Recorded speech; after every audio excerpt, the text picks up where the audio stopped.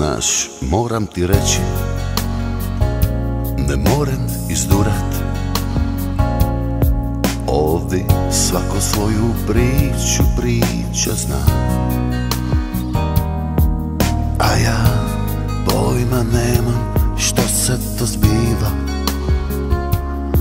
Kao da svi su se preli ludi kljiva Znaš, moram ti priznat Da nije mi lako.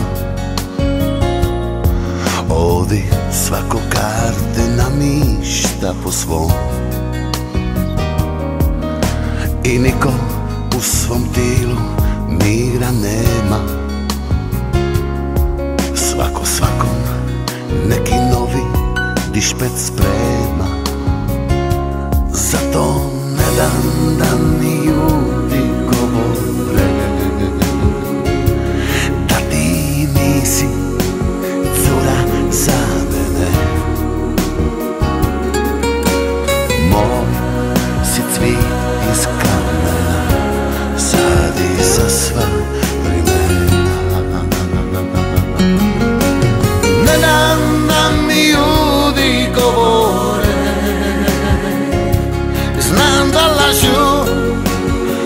od ljubomore Moj si cvit iz kamena Dalmatinko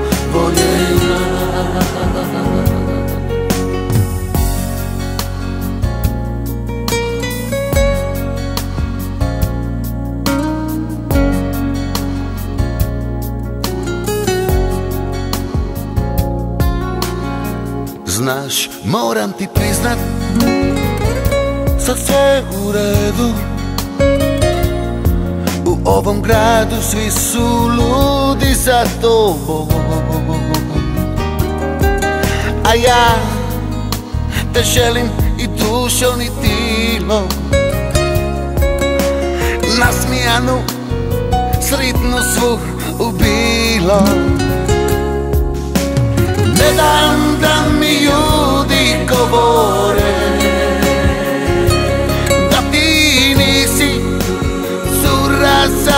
mene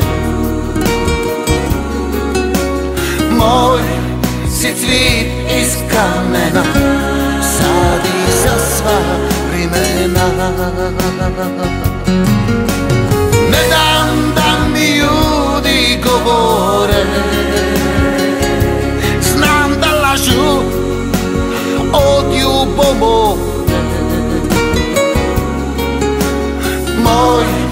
si cvit iz kamena Dalmatinko voljena